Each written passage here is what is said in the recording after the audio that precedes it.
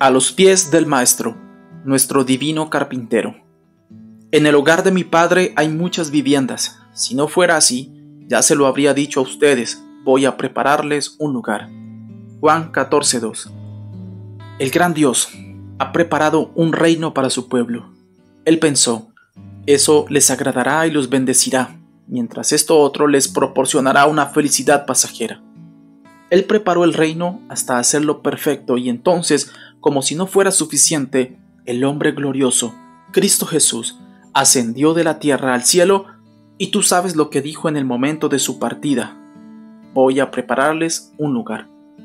Sabemos que el Dios infinito puede preparar un lugar ideal para una criatura finita, pero sonreímos al darnos cuenta que el propio Jesús, quien también es hombre y por lo tanto conoce los deseos de nuestros corazones, ha participado en la construcción de ese lugar en su preparación.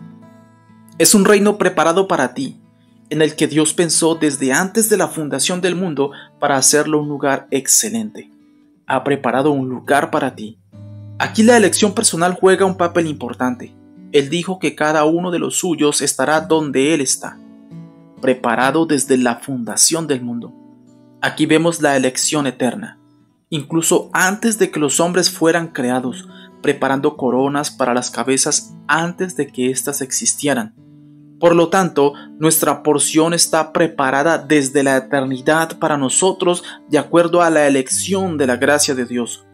Una porción que satisfará el carácter más exigente, que estará muy cerca de Cristo, en comunión con Dios y en un lugar de eterna dignidad y felicidad.